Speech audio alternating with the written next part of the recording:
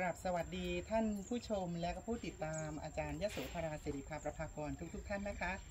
วันนี้อากาศร้อนมากในช่วงเดือนเมษายน อาจารย์ได้มีโอกาสนะคะได้มาแหล่งท่องเที่ยวทางวัฒนธรรม ด้านศาสนสถานหรือโบราณสถานนะคะ ประจำอยู่ในชุมชน ในเขตอำเภอจอมพระนะคะ จังหวัดสุรินทร์ที่นี่คืออโรคยาสารปราสาทจอมพระ ซึ่งถือว่าเป็นพุทธสถานในพระพุทธศาสนามหายาน ในอารยธรรมของโบราณ ศิลปะสถาปัตยกรรมที่นี่นะคะ เป็นศิลปะแบบบายนและถูกสร้างขึ้นในสมัยพระเจ้าชัยวรมันที่ 7 ทรงมีพระบรมราชองค์การ โปรดเกล้าให้สร้างอโรคยาสารแห่งนี้ขึ้นมา น้ำอันศักดิ์สิทธิ์ที่อยู่ด้านหน้าของเรานี้ ที่ปรากฏอยู่ในสระบารายแห่งนี้ ได้ถูกใช้อุปโภคและบริโภค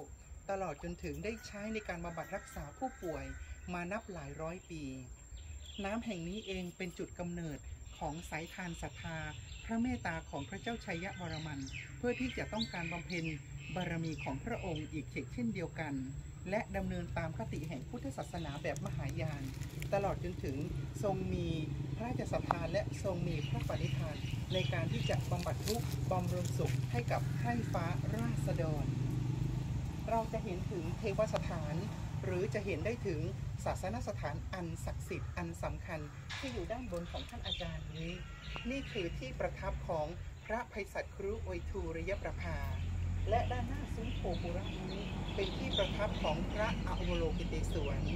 ซึ่งถือว่าเป็นคติอิทธิพลและบทบาทในการเผยแผ่พระพุทธศาสนาในอารยธรรมของมาสู่ดินแดนแห่งนี้ ดังนั้น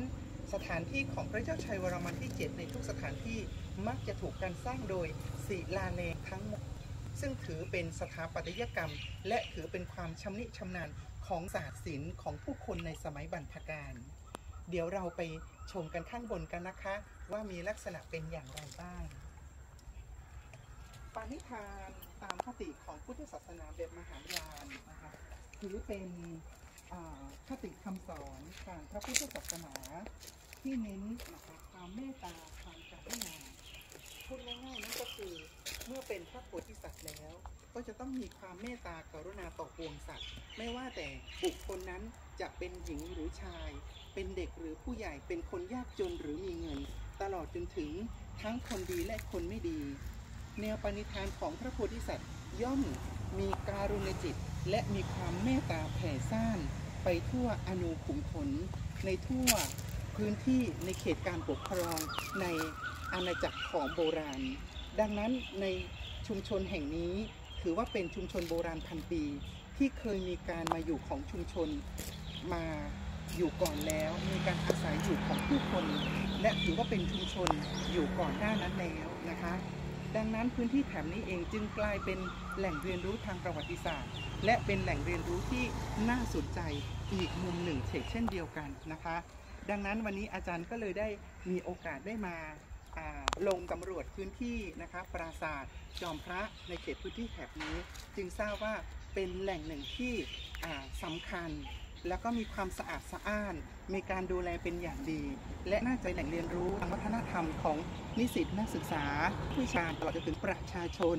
นะคะในพื้นที่ต่างๆ ที่จะเข้ามาเสพเอาความรู้เหล่านี้ให้กลายเป็นความรู้ที่มีชีวิตและฟื้นคืนชีวิตมาได้ นี่คืออารยธรรมของโบราณ เกิดจากพระราชปณิธานแห่งพระเจ้าชัยะวรมันที่ 7 กราบขอบคุณกราบสวัสดีค่ะ